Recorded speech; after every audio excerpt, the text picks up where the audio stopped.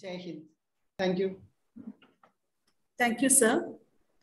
With immense pleasure, I would like to invite Dr. K. Krishnakumar, Chairman, Education Forum, IPA Kerala Set Branch, and Principal of St. James College of Pharmaceutical Sciences, Chalakudi, to convey the significance of this great day.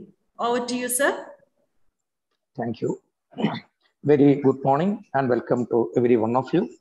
Uh, today's our chief guest of today's function, uh, Dr. Uh, Professor Shanti Kumar Nair, uh, the Dean of Amrita Center for Nanoscience and uh, uh, Molecular Medicine, and the, of course, our energetic president of today's function, Dr. Vijay Shekhar sir, and our dynamic secretary, Dr. John Joseph sir, and our resource persons of the day, Uh, Dr. Wilby, as well as Rija Sinaya, and uh, our uh, moderators, Arun Rashid, as well as Bobby, and uh, also the keynote address introducer, our beloved principal of Amrita School of Pharmacy, uh, Dr. Sabida. Then the vote of thanks delivered by Dr. David, and also the felicitations given by our Kala Madam, as well as uh, Muhammad Anifa and uh, my dear, dear, dear students of various institutions of our state. I have immense pleasure be a part and parcel of today's uh, National Science Day function. And already in our welcome speech, as well as our presidential address, they have given the importance of the Science Day. And everyone we know, we are celebrating from 1987, John Joseph sir already mentioned, that will be the recommendation from the National Council of Science and Technology and Communication. They have recommended to the government uh, to celebrate this 28th of February uh, for, as a National Science Day. From that, 1986 they appealed, and 1987 onwards, in India, we are celebrating every 28th of uh, February, we are celebrating National Science Day. The reason for this, that is the uh, discovery of the, to mark the discovery of Raman effect. That was in 1928, 28th of February. So that is the importance of that day. And for that discovery, uh, Sir C.V. Raman uh, awarded the Nobel Prize as an Indian physician, Indian physicist. And uh, the uh, mention about this National Science Day, already the president as well as uh, secretary has uh, pointed out uh, that this is mainly we are celebrating this National Science Day to inculcate to the public, to the society about the importance of the science and technology in our daily life. So even our ancestors are using so many technologies and this one, but it is not documented and as such we are following it. Nowadays, uh, already Sir has pointed out, even the nanoscience, today's our chief guest in his keynote address. He will explain about the importance of our uh, the nanoscience, especially in the case of uh, pharmaceutical industry, because of uh, some toxic materials, because of the nano doses, which we can use very potentially and very actively, uh, and that can be uh, useful to the society as a whole. So that technology, nanotechnology, is the most important wing uh, for the coming days and also the recent trends by uh, Dr. Wilby as well as Rijasi Nair, the trends in the pharmacy. This also will be useful to our students. And our president already has pointed out that this is to inculcate to our young generation and to our young pharmacists uh, to do the research activities and any research activities that will be useful to the society as a whole. That is the outcome of any research activity. That is the importance of this science day and the basics of this research and its importance to inculcate to our young generations. And before concluding, I we talked about the Raman effect. I just want to uh, say because uh, President and uh, this one they have mentioned about all other things, but exactly what is a Raman effect? Uh, that is uh, very very useful even nowadays, even in our pharmaceutical field that we are using as a Raman spectroscopy. That is extension of that. It's in the fingerprints of to find out the useful materials as well as to make uh, different types of new formulations. The Raman effect, it is uh, nothing but uh, it is uh, when any molecule, when it is excited in an energy, high energy level, always the photons are scattered. That is the usual procedure. And these scattered photons are usually when the incident uh, that photons, the same energy level that will be excited and that will be go in the different direction. That is a normal scattered light photons process. So the energy level is same. The energy level same means it's nothing but it is having the same frequency and the same vibrations. But however, in some molecules, when the Sir C.V. Raman's discovery, when some molecules, when it is excited, in that 10 in 1 million, that is their uh, statistics they are saying, some photons, they are not elas elastically uh, scattered, but in the case of the Raman effect, inelastically, they are scattering it out. That means their energy level is different from the incident light. So this difference, he's found out that the difference will be changed and to entered that onto a Raman spectroscopy. That is the extension which we are using for the fingerprints and other things. Nowadays, we are using even in our pharmaceutical industry. Put into nutshell, the Raman effect is the inelastic scattering of photons and the normal scattering of the photons that are elastically scattered. These are the differences which he got the Nobel Prize in physics. So with this, wish you all the best for all my young generation pharmacists. So this is Science Day, and we are celebrating to inculcate the research uh, importance and that it should be in our uh, useful to our daily life. All our pharmacists should uh, go through that. That's why even in our syllabus, even our eighth semester B pharmacology cabin, we are giving the importance of the projects and the uh, uh, school of pharmacy, all pharmacy schools, all these things which are including the importance of the uh, practice as well as practicing pharmacy and also the importance of the research activities.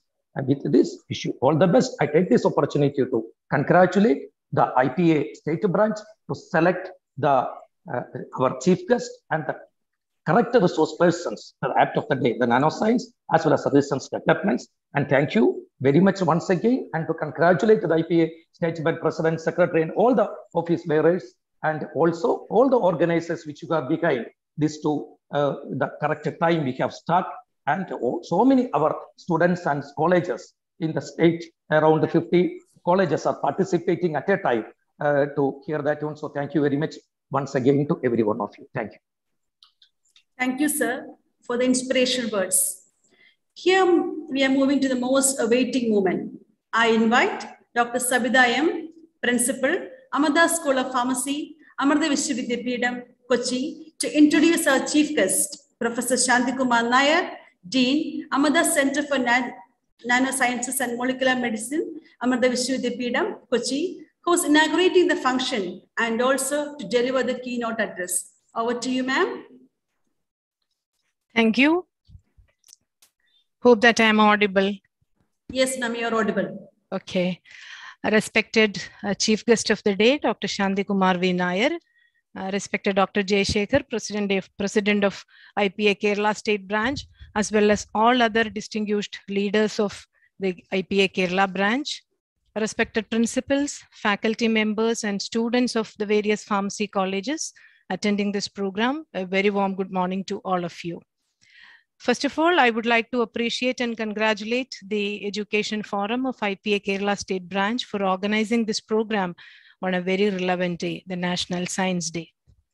I'm honored to introduce the chief guest of the day, Dr. Shanti Kumar V. Nair.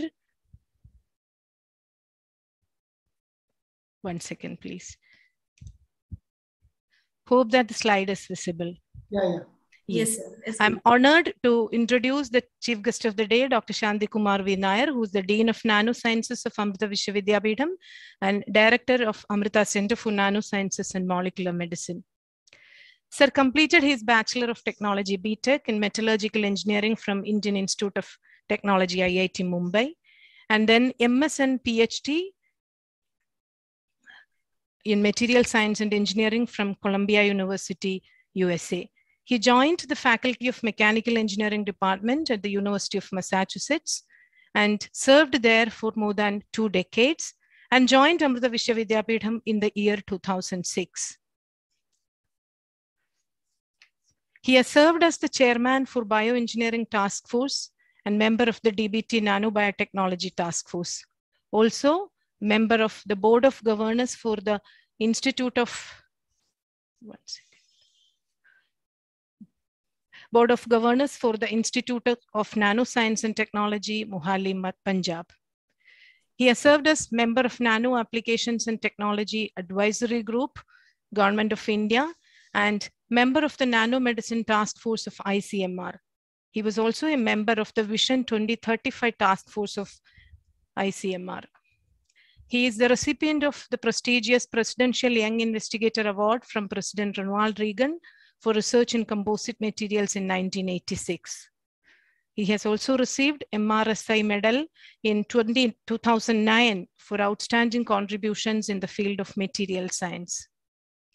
He is the recipient of prestigious National Research Award from Government of India in the year 2011 for research in nanosciences.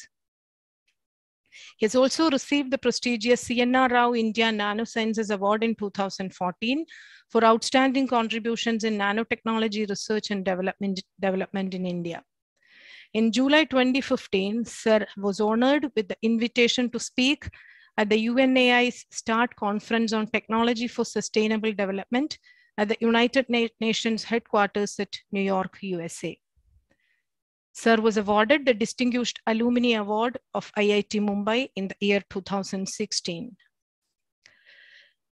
Sir has established the Amrita Center for Nanosciences and Molecular Medicine, which is one of the premier institutes in India.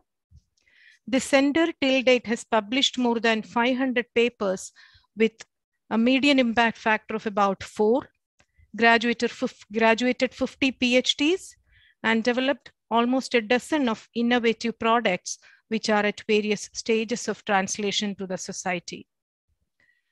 Sir was a joint developer of some of the products and is a joint inventor on almost 40 patent applications and 30 granted patents.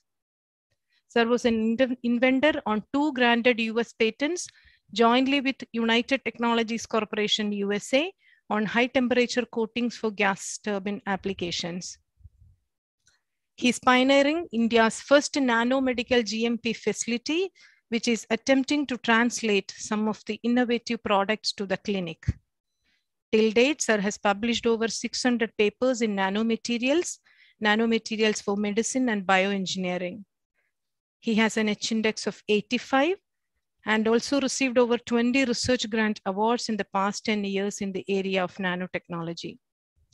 He's an author of five books and more than two dozen book chapters. Sir is very closely associated with Amrita School of Pharmacy and so is aware about the various academic programs of pharmacy, their scope, as well as the kind of research carried out by pharmacy faculty and students. We are honored to have an eminent academician and researcher with us today as the chief guest to deliver the keynote address. On behalf of the entire team of IPA Kerala State Branch and all gathered here, I extend a very hearty welcome to Dr. Shanti Kumar V. Nair and invite him to deliver the keynote address. Over to you, sir.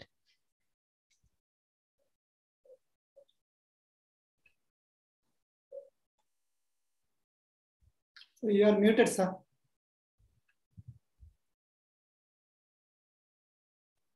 Thank you. Thank you, Dr. Sabita. I didn't realize uh, introducing me is is become a talk in itself with slides.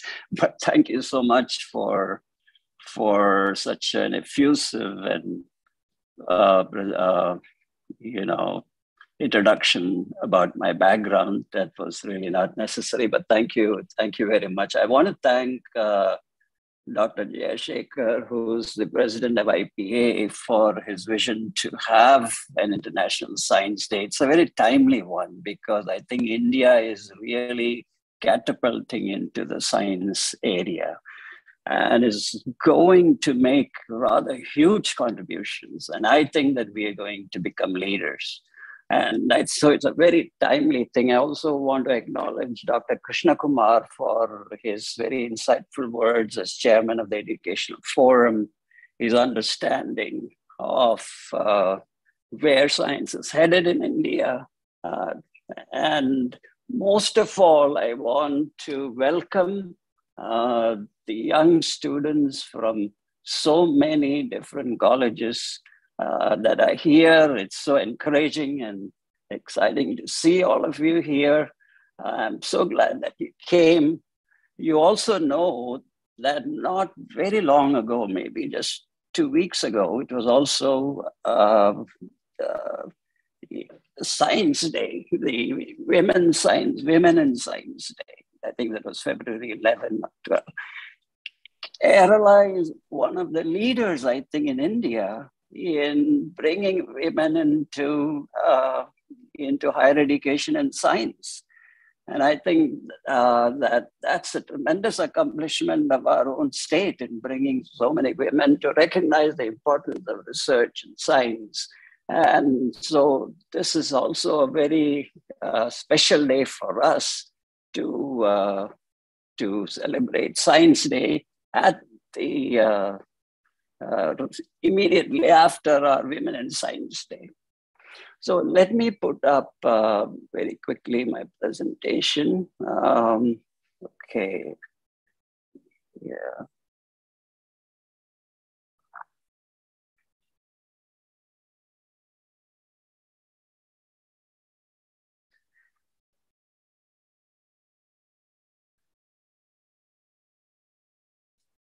Okay, can can you see that?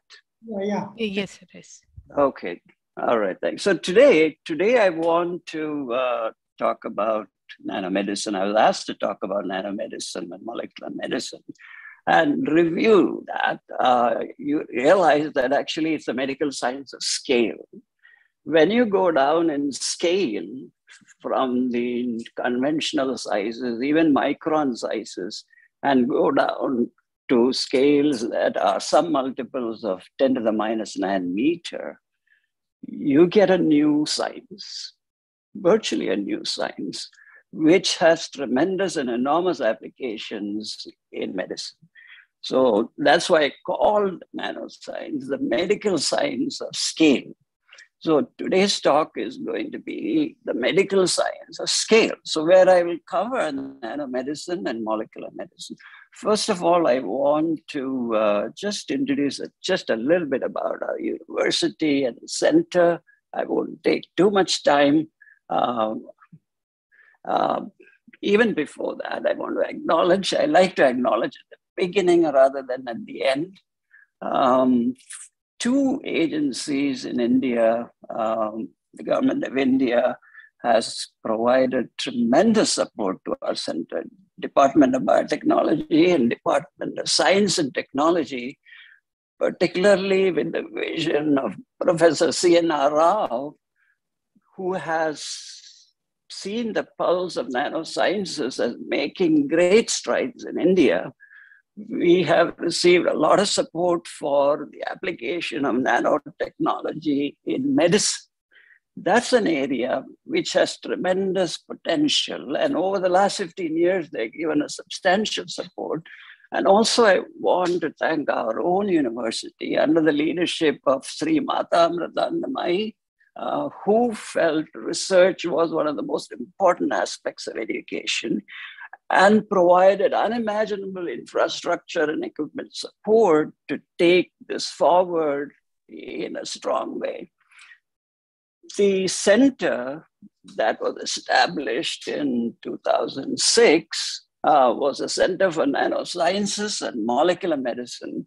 And we realized, in fact, it was Amma's vision at that time itself in 2006 that nanosciences is going to play a huge role in medicine. And we established that center inside a major multi-specialty hospital. So it was, as you know from the introduction, I'm an engineer, I'm a materials engineer, I'm a material scientist. So to set up a research facility inside virtually inside a hospital that was engineering related was initially a surprise for many people, but it turned out that it was one of the best decisions that we made because we brought together material science, nanomaterials, engineering, physics, chemistry, and all of that together into medical sciences. So this is one of the themes of my talk is the importance of such an interdisciplinary broad exposure to be successful today. To be successful today in medical area, in pharmacy area, one needs to broaden ourselves and our from my side, a serendipitous move to set up Nano Center in Medical Sciences, but really coming at the inspiration of our Chancellor Amma, became a symbol for how important it is to bring in technology into medicine. So we have also, uh, uh, our campuses are spread out all over different states, and we are having a center come up in Delhi and we are very proud to be accredited A++ plus by NAAC. And uh, we have uh, now very good impact rankings, and our center is focused on training in cutting edge areas. So we are not teaching uh, just simply chemistry, biology, physics, engineering, mechanical engineering, electrical engineering, but we are teaching interdisciplinary, cutting edge areas because we feel that students in today's academic environment must have that interdisciplinary exposure. So we have courses both at the PG and UG level in molecular medicine, which is a very interdisciplinary program, nanobiotechnology, which is the application of nanotechnology in biology and medicine, we also have a, a program in nanoengineering, which is more technology oriented. So these are not the kind of MSc and MTech programs that you would read in a brochure. These are more cutting edge and it is designed to capitalize on the need for interdisciplinary training. So uh, let me just uh, say a little bit about theme of Science Day. I think has to be research. And all of you young people are coming to universities to get educated. And maybe you're not fully understanding what really is meant by research. It's not just sitting in classes, right, and passing courses the theme of Science Day has to be research. So that means it is going beyond what science is teaching us.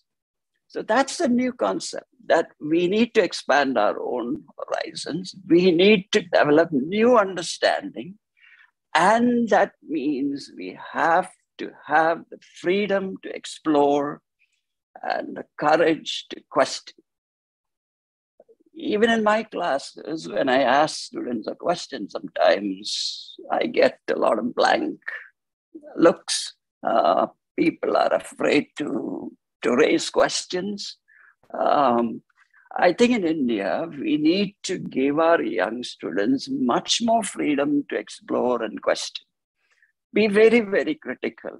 And I think that's something that is happening, but needs to happen much, much more and that imagination and dreaming is really actually something that comes from within, that we go beyond conventional thought.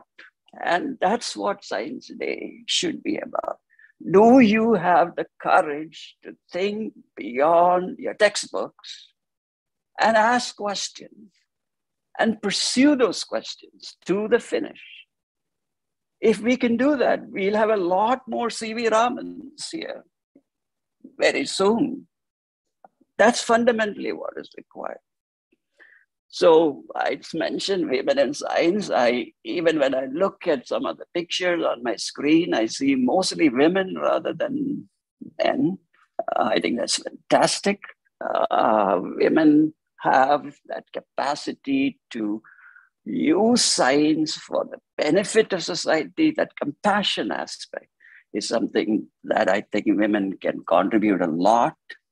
Science should not be for the sake of science alone, it should have a benefit for society. Uh, we should reward scientists. Uh, I believe that scientists should not have any economic insecurities. We should pay them well. They should not worry about economics, but we should, they should be accountable. So, in this century, we're talking about the 21st century, there are two aspects, three aspects that I want to emphasize. One is the interdisciplinary aspect the reality is that you cannot avoid it. You cannot work in silos. You cannot say, I'm a pharmacologist and all I know are pharmacology textbooks. It doesn't work like that. Secondly, we have to get out of our ivory tower. What do I mean by ivory tower? Do not just think that what you do just simply in a laboratory in of idealized experiments is the way that will result in products coming to the society. There is a field of research that goes beyond the confines of just idealized lab research to practical application needs, and that's called translational research. We have to do research that is of a translational nature, which means that how do you take some principle that you have proved in a lab and make it applicable to society? How do you, you have to do a lot more research. So those are two aspects that I wanted to. The third part is the idea, which I just mentioned, compassionate research. Develop something that is useful. Think of the society around you, what the people need. What are the needs that uh, as a pharmacy group you feel is so needed to help people. Brainstorm, come up with ideas, and think of something that will actually have use. So the emphasis then is the interdisciplinary aspects, and as I mentioned, materials, medicine, engineering, biology, chemistry, physics, computer sciences, are all needed in modern medical research. And I think now we no longer can have engineering, math, and bio streams as separate. I think that the, these are gone. People in the bio field and in the medical field need a lot of math. For example, statistics are becoming more sophisticated, big data and big and data analytics are becoming important. So we need to look at that. If you're doing drug discovery, if you're doing epidemiology, climate change is not related to you, but you're, you're generating because we have powerful machines, we are generating a lot of data. How do you analyze all that data? You need to bring in artificial intelligence, which means training the computer to think and make sense of all that large data. How are you going to do that if you don't know any math? So uh, biostreams must be strong in math. So basically what I'm saying is, you heard the saying, jack of all trades, master of none. That's a famous quotation. But what I'm saying is, jack of all trades, master of one. Yes, you should be strong in one area that you choose to be an expert in, but you must have strong exposure to a multitude of different areas.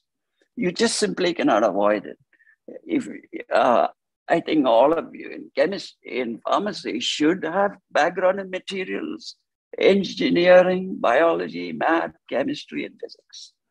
I think that's really required, and I think that this is going to happen soon. The translational aspect means taking the concept from the lab into practice, which means you have to design and manufacture something. What are the limitations there? It has to be reproducible. It has to be scalable. You have to make tons of something, or you have to make thousands of products. How do you scale it? How do you how is it sustainable? Are you going to create a lot of waste which can never be recovered? Um, what are the regulatory limitations? If you're going to bring out a medicine, how are you going to ensure that it is safe, for instance, and it has sufficient efficacy? There are regulatory norms for it. It's not like just simply doing a proof of concept in a lab.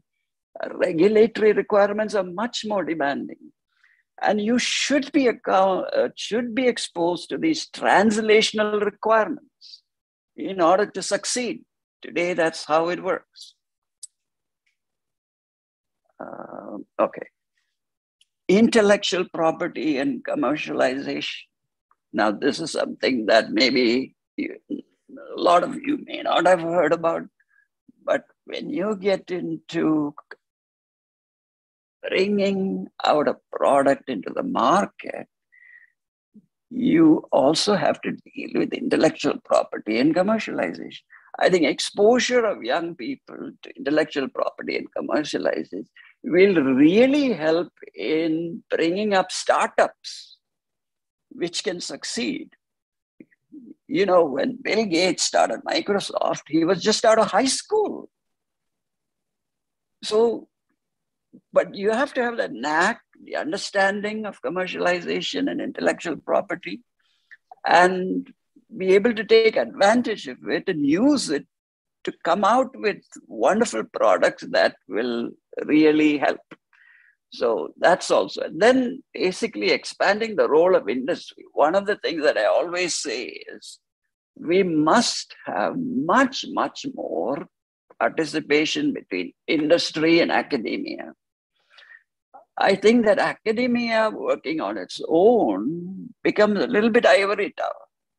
Industry working on its own results in no innovation, just selling things.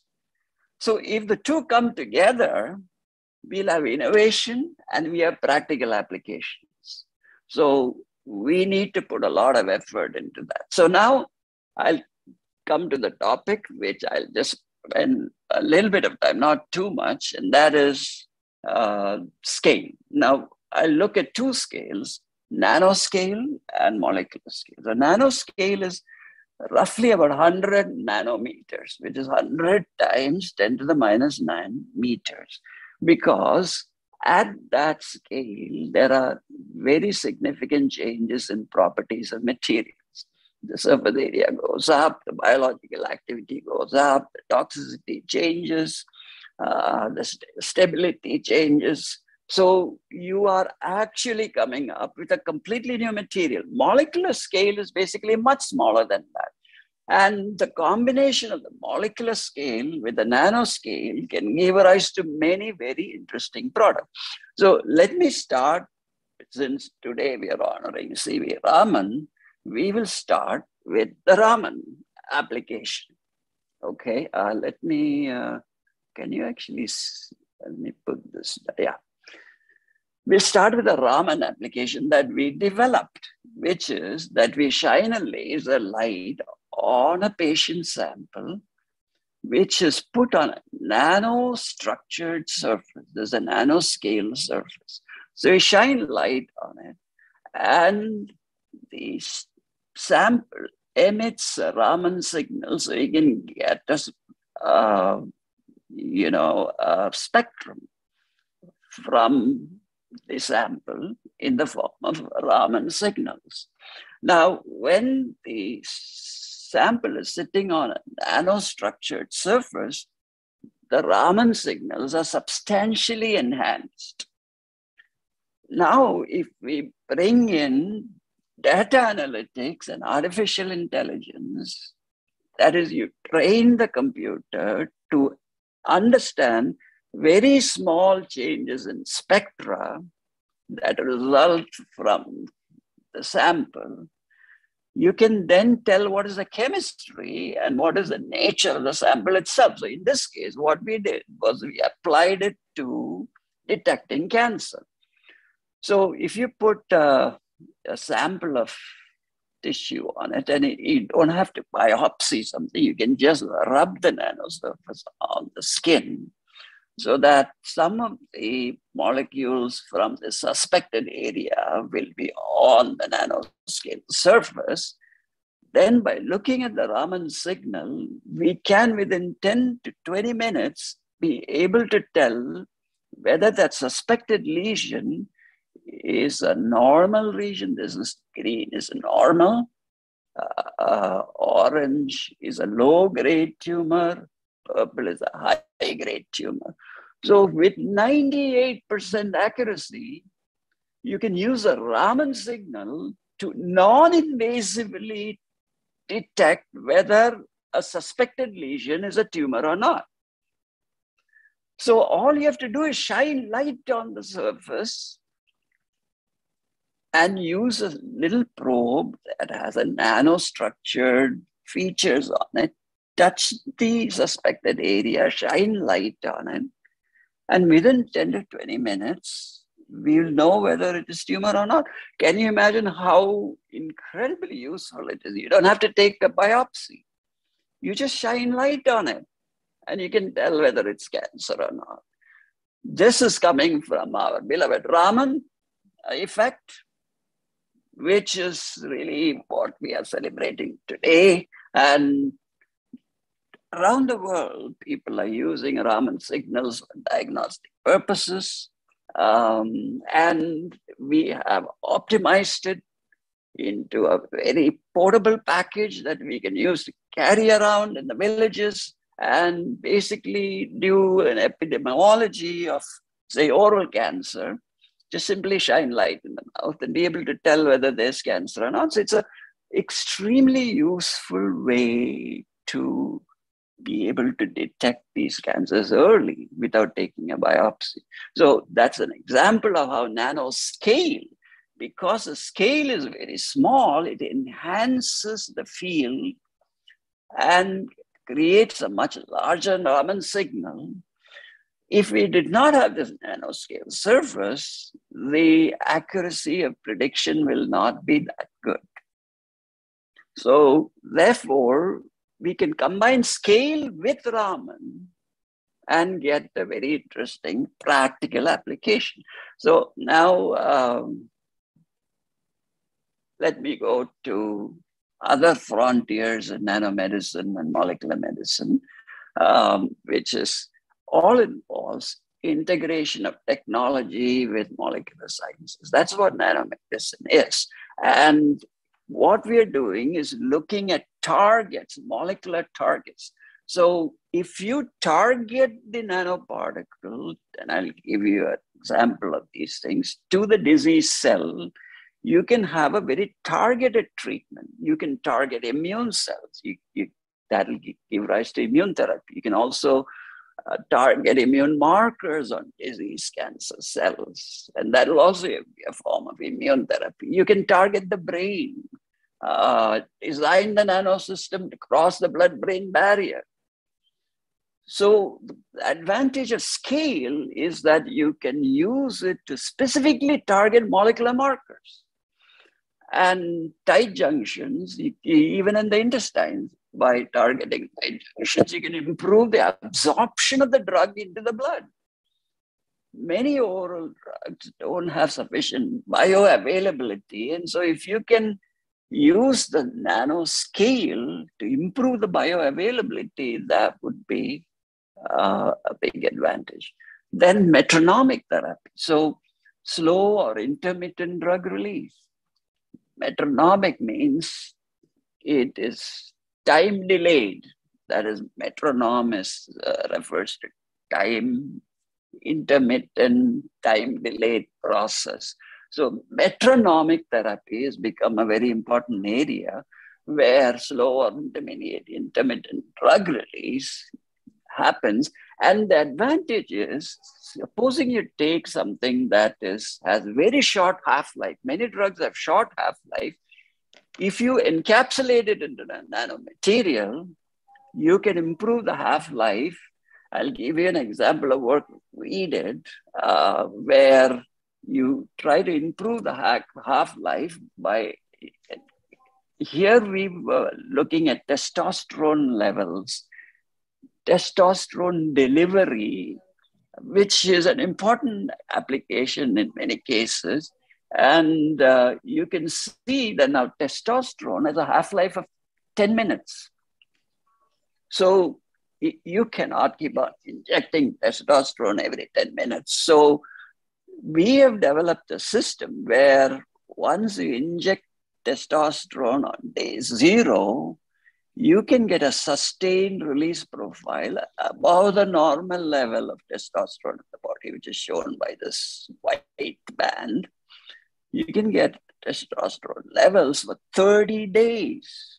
30 days. That's a remarkable and tremendous improvement. So instead of injecting and giving therapy every hour, every two hours, for example, if you're taking Tylenol, you have to take the Tylenol tablet every four hours. But imagine if you could take the tablet today and it lasts for two days. That's a tremendous thing. Now, certain critical uh, drugs like hormonal drugs are really, really important that we don't keep on injecting into the body. So uh, that's another very valuable part of it. And personalized medicine, you can target based upon your molecular profile, I can treat you. I don't need to treat you with any random drugs. I can look at your molecular profile and I can treat you according to that. And that's called personalized treatment. And I just showed you high sensitivity detection uh, and so on. Now, to create a nanomedicine is like creating a device, a device at nanoscale.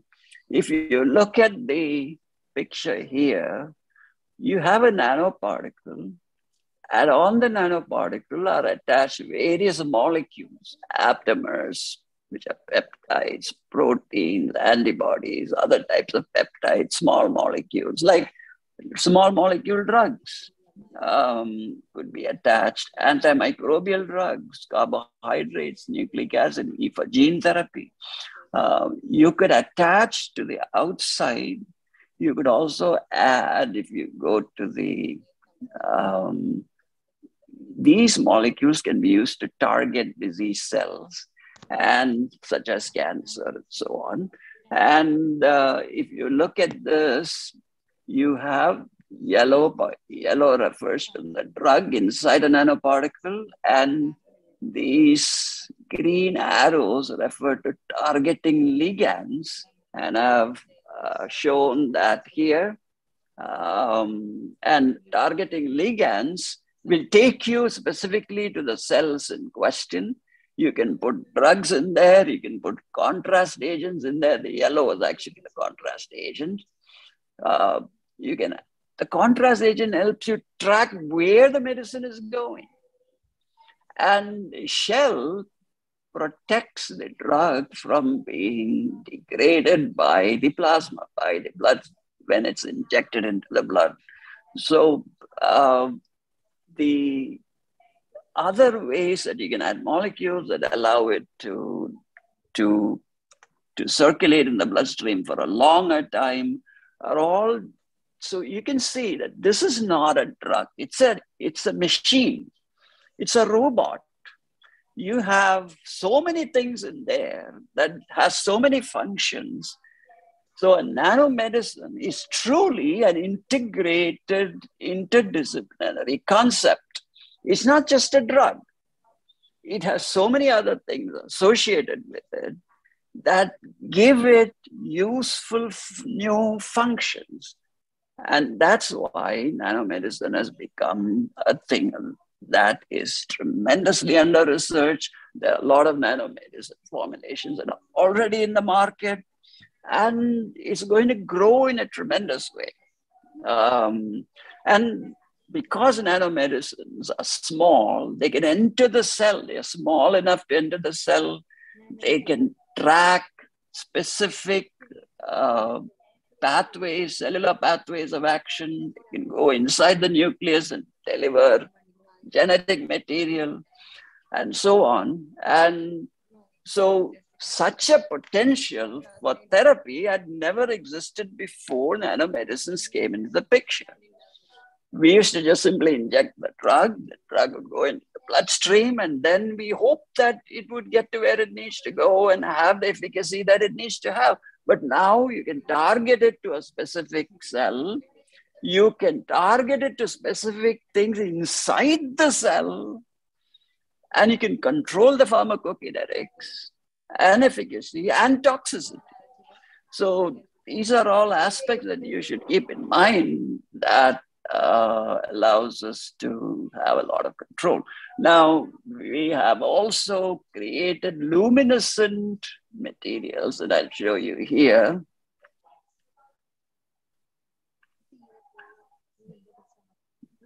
The right side is basically um, um, nanomedicine nanoparticles, which have been made luminescent by adding 25 atom gold clusters in there. So you can see where they go. Here's an example of a beautiful application. I, I attach antibodies to these clusters, which take it to leukemia cells. And now, lo and behold, the leukemia cells specifically are decorated by this red boundary because they are targeted to the leukemia cells through this antibody and they glow red. So I can use a FACS, fluorescence assisted cell uh, sorter. I can use a FACS system to immediately detect visually whether the blood has leukemia cell or not. So again, the idea of a diagnostic tool, which is cell-targeted, is a beautiful one. Um, and the same thing also can be done um, with, with the cancer treatment.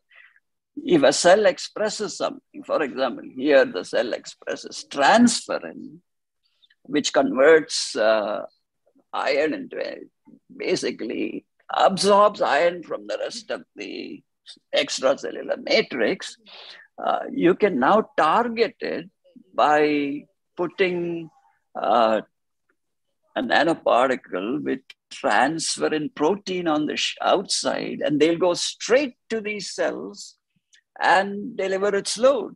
So you can use core shell systems like this, which will allow us to target the material. And when you use a core shell system, the efficacy of the treatment is very good. So I can put one drug in the core and one drug in the shell. And we can use what is known as polypharmaceutics, which has a very powerful impact on treatment. And uh, how much time do you have? Am I almost done? Otherwise, I can wrap up right now. Yeah, you can maybe five minutes more, sir. Okay, thank you. Thank you very much. So uh, I also want to give you some quick examples because time is very short. Uh, really, this requires a whole day to go through each of these is like a separate talk. But what I wanted to mention is here's an example where physics and chemistry comes into it in a very big way.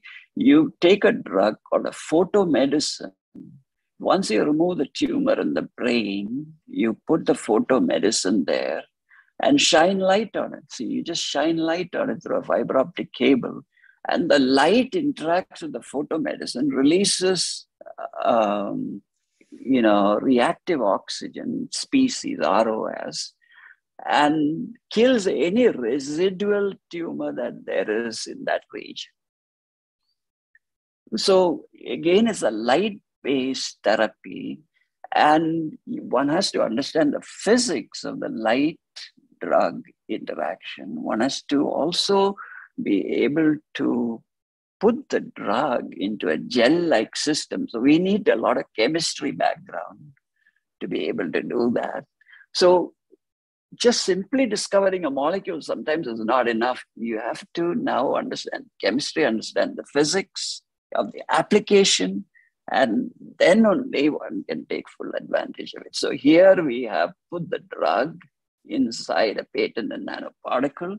This is the photo drug and made it into a gel.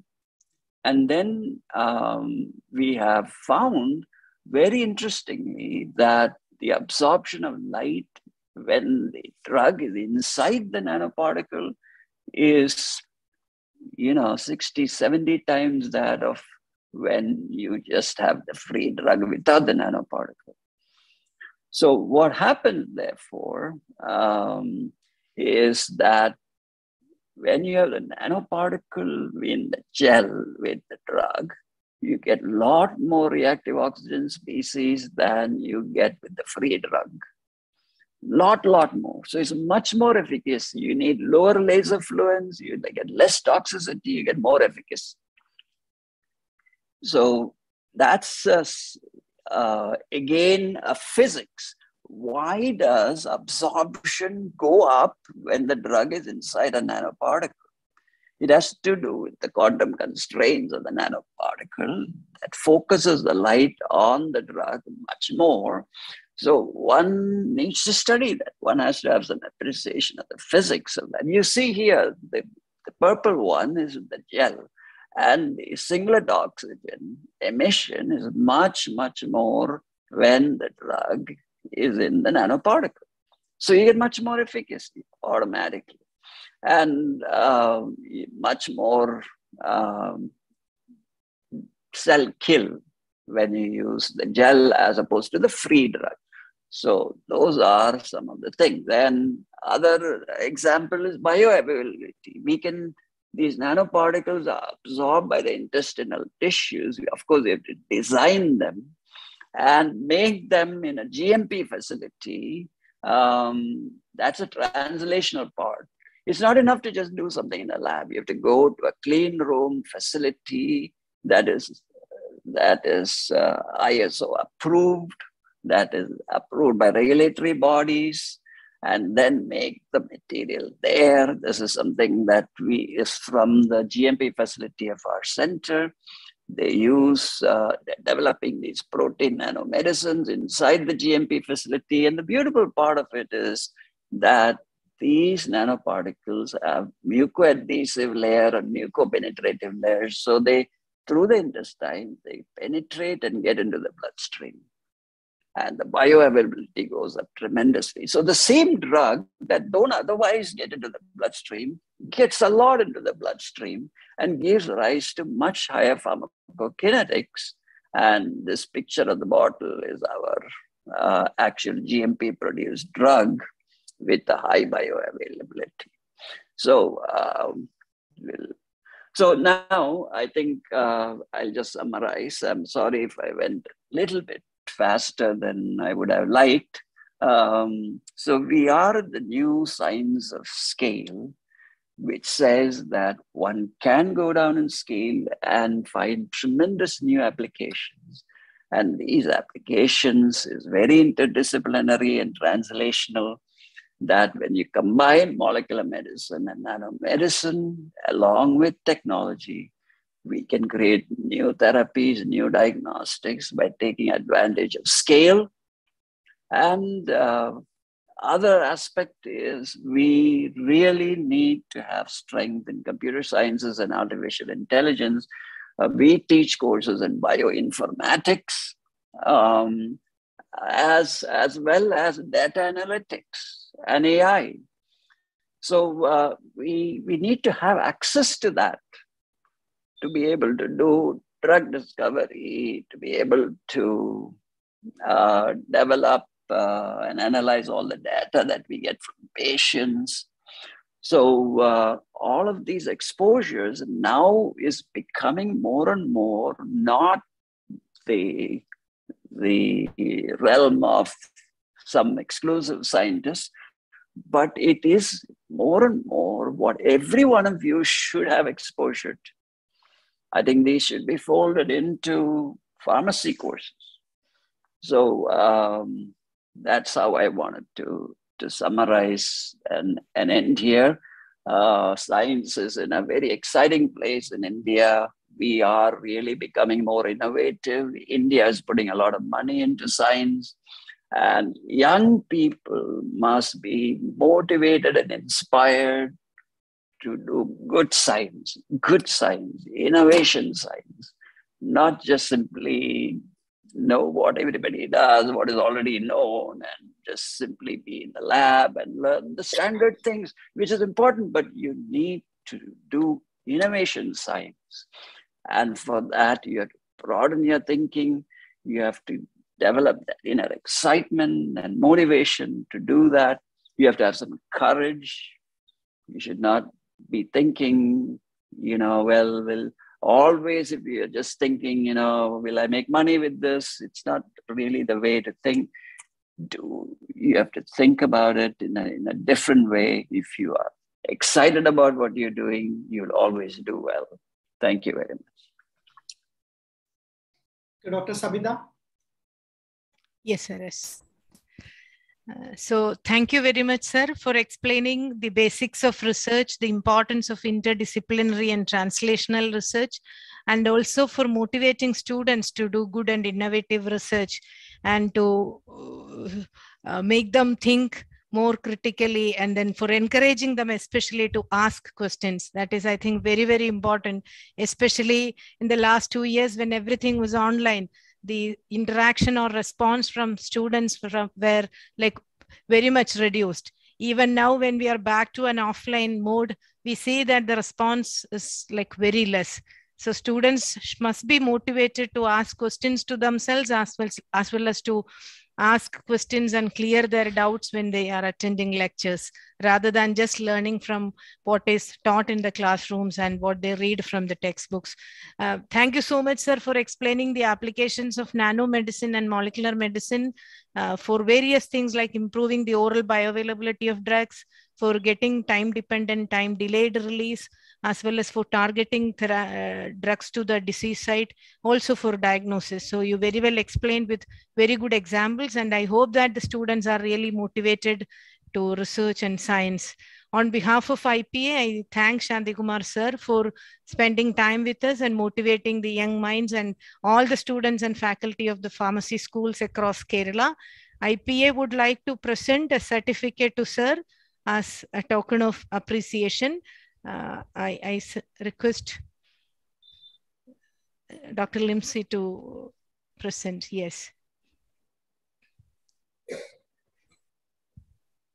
So once again, thank you very much, sir. On behalf of the entire team of the Education Forum, as well as the Kerala State branch of IPA, I thank you, sir, for uh, delivering the keynote address and inspiring the young minds. Thank you thank, very much. Thank, thank, thank you. And I hope that the young uh, students are genuinely take up science in an innovative way, that'll be a wonderful thing. And that's the most important thing.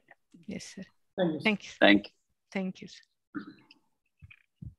Dr. Limsey. Thank you, sir. Yeah, thank you. Now, it's, it's my pleasure to invite Dr. Arun Rashid Professor, Pharmaceutical Chemistry, Al Shifa College of Pharmacy, Malappuram, to introduce Dr. Wilby DS, who is going to deliver the talk regarding the recent trends in drug delivery. Over to you, sir. Thank you, madam. Madam, it is audible? Yes, audible, sir, madam? Audible. Yes, sir. It's audible. Okay. So, good morning, on and all. Uh, distinguished IPA members and uh, faculty members and teachers, principal, and students of various colleges of pharmacy.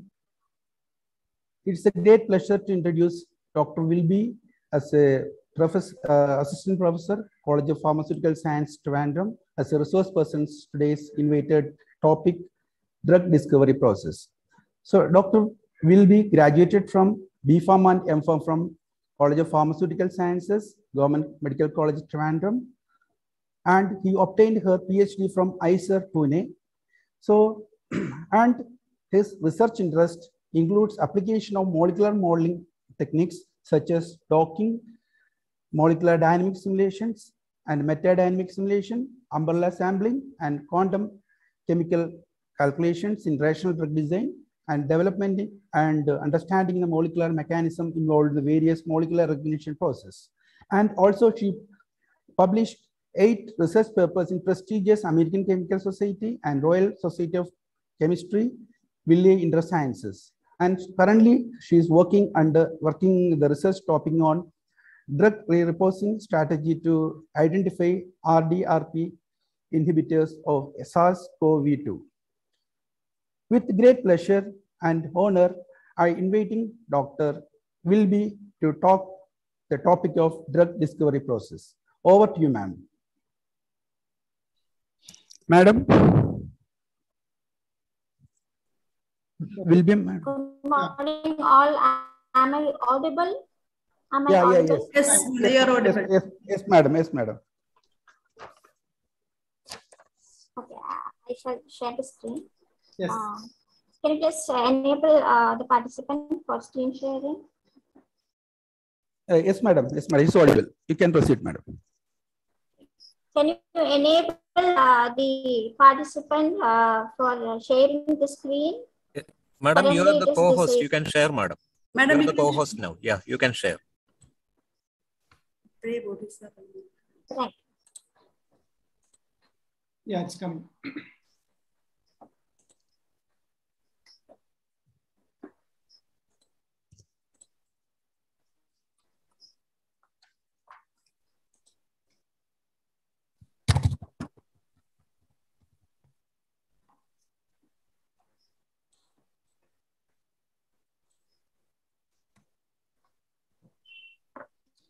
Uh, Once again, good morning all, and thank you, sir, for your kind introduction.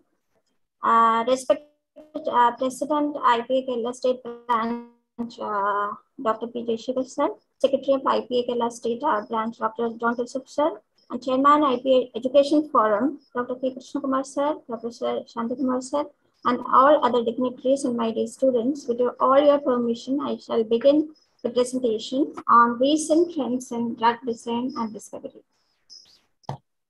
Today, I'm going to talk to you about the uh, drug design and drug discovery process. As you all know, as the science advances, it treat and uh,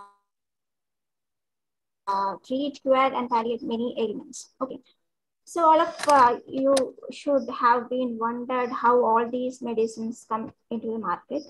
And if you have never thought about it, I should suggest that you should start thinking about it now onwards.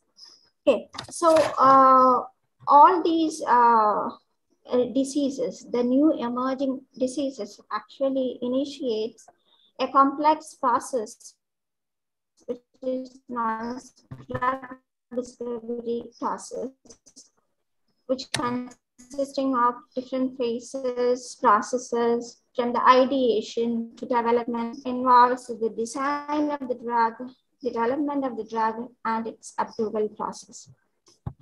And this complex process actually uh, takes around 10 to 13 years. And what makes the process to take other because it involves different phases and different processes, which will start from the ideation to development to approval. So we can classify uh, the general process into four different phases. The first phase being early drug discovery process. So once you have uh, a disease, you know the target of the disease, or you know the causative reason of the disease, you can design the molecules from starting from a library of molecules. And the library of molecules may contain 10,000, uh, 20,000, or even bigger number. And this involves the early drug discovery process. And this involves the design of the molecules and optimization of the molecules, synthesis, characterization, etc. So from the 10,000 molecule, you can screen the molecule up to 250 compounds with a phase which is known as preclinical phase. This actually involves in vitro analysis, in vivo analysis, ADME parameters, etc. And from the 250 compounds, you can bring down uh, the uh, molecules to five compounds, which includes several clinical phases, including clinical phase one, two, three, etc. And uh, finally, it will reach the phase which is known as regulatory approval phase. From the five compounds, one drug actually uh, reaches the market. Okay, so you can see here one drug actually reaches the market. So this uh, drug discovery passes through several stages like this that makes makes it very long process. Now we can see what are the different processes involved in each of these um, uh, steps. So if you have uh, the first phase is an early drug discovery uh, process. So it uh, consisting of uh, the target identification means uh, you know the disease and you know the uh, receptors or enzymes or proteins or the small molecules which are responsible for the particular disease. And uh, if any of the newer molecule or small molecule which is able to modify the biological function of a particular receptor or an enzyme, then we can call that particular enzyme or the receptor to be a target. So you have to identify the target and you have to validate the target. You have to find the binding site of the target. That means the validation. Then you can screen the molecules, library of molecules using high throughput screening to generate the lead. So that is what is known as lead identification. And then you can further uh, uh, develop the assay and uh, other screening methods like in silico screening methods so that you can generate the lead and then you can optimize the lead and further you can go for the synthesis and characterization.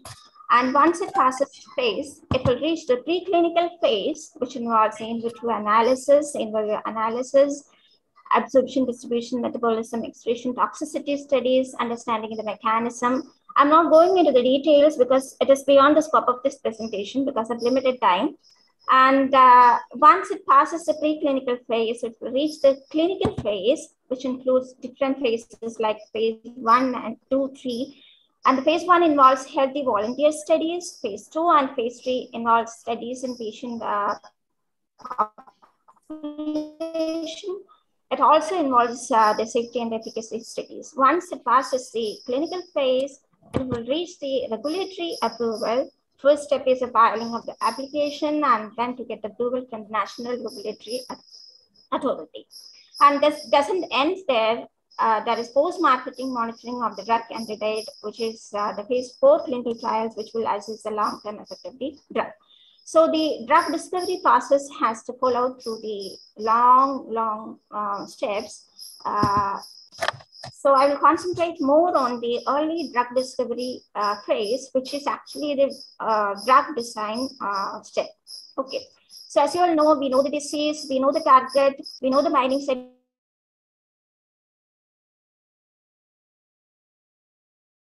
Identification, lead generation, optimization with help of high throughput screening in silico computational methods, etc. And then we have to go for synthesis and characterization. And this is the area where the medicinal chemist or pharmaceutical chemist has uh, uh, like optimum role. Okay, so this is the area in the drug discovery process where the medicinal chemist or pharmacist, uh, pharmaceutical chemist is having a major role. So this uh, medicinal chemistry actually deals with the design, optimization, and development of chemical compounds for use as drugs. And this basically involves two steps, which is design and optimization involving in silico screening and high throughput screening. I'm going to talk more about the design and optimization, which is in silico screening methods. So if you uh, look at the silico screening method, see that there are two approaches which has been used in in silico drug design, which is structure-based drug design and ligand-based drug design. And if you, you look at the structure-based drug design, there is a situation where you know the disease, you know the target, but you don't have the 3D structure of the um, target. So actually, you cannot go for the structure-based design. You have to go for the ligand-based, and you have to still uh, design the ligand. And the several methods are involved in the design uh, of the ligand. If you don't know the 3D structure of the protein, this involves 3D QSAR, uh, that is three-dimensional quantitative structure activity relationship, which actually describes uh, the relationship between the structure and biological function and then artificial intelligence, uh, which is a newer emerging technology for designing the new ligands. Actually, uh, we use computational programs for designing the drug, uh, drug discovery process. So uh, with respect to structure-based drug design, here you know the 3D structure. You can see the 3D structure of the protein over here. You know the 3D structure of the protein. You know the binding site. Now you can use various computational methods such as molecular modeling methods for this study, involves molecular docking, molecular dynamic simulations, and also you can use various binding free energy calculation studies such as uh, metadynamics, umbrella sampling simulations, Monte Carlo simulations, etc. So uh, this is actually uh, the, these processes such as uh, the, the use of computers or computer programs uh, in designing of the drugs actually involves uh, uh, many um, programming packages. so I'll go through each one of them. So I'm more interested in, in the molecular dynamics uh, simulations and binding energy calculations because uh, these are the uh, latest trends in drug design and discovery. So actually in silico methods are used in drug design, which involves scientific experiments or research conducted or produced by means of computing, computer modeling or computer simulations. And basically you can classify into two types, molecular mechanics and quantum mechanics. In molecular mechanics, you treat the molecule as a collection of atoms and bonds. So you have uh, like paracetamol, you will have uh, the collection of the carbons, you will have the collection of oxygen, you will have the collection of uh, bonds. So you will consider the molecular mechanics. You will in, in molecular mechanics, you will consider the molecule to be a collection of atoms and bonds. Whereas in quantum mechanics, you will consider the molecule as a collection of electrons. These are the main molecular modeling methods which are used uh, in drug designing, which is molecular mechanics and quantum mechanics. And with respect to uh, um, the in silico methods, what are the advantages of it? The experimental methods. Uh, the first one is it is low cost. No compound have to be purchased externally or synthesized. And it is possible to in investigate compounds that have not been synthesized yet. And computational methods reduce the initial number of compounds before conducting the high throughput screening. So you can use these methods for screening the molecules and then uh, you can uh, go for um, high throughput screening. Lead optimization can also be done after initial virtual screening to assure the biological activity. So the, actually the use of computational approaches in drug discovery reduced the period of introduction of a new drug into the market from 30 years to 10 to 15 years. So in all the uh, uh, different phases of drug discovery, you can use the computer applications, but I am more focusing on to the drug design aspect, which is a uh, first phase of the drug discovery process.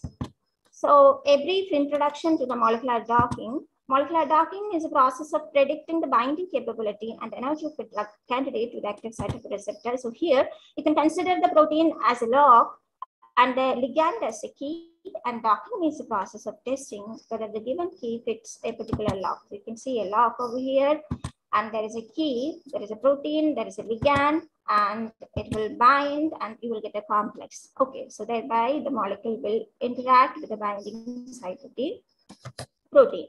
So if you, uh, you can also classify the docking into rigid docking and uh, flexible docking. So the problem associated uh, with the docking is uh, we cannot give full flexibility to the protein to the uh, extent we can give the flexibility of the amino acids in the active site and as well as we can give the flexibility to the ligand. But you cannot give the flexibility to whole protein because uh, molecular docking is not that efficient to uh, you know, generate uh, the dynamic simulations of the molecule.